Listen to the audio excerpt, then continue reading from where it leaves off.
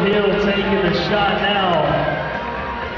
Unfortunately for Beau, he is down early, but there is a twist to the Tyrama. $1,000. Great supporters, great guys to have on board with us here in Billings in the PBR. They they designated $1,000 to go to the Cowboy, but if in fact the Cowboy was unsuccessful, they in turn would donate the $1,000 to the Rider Relief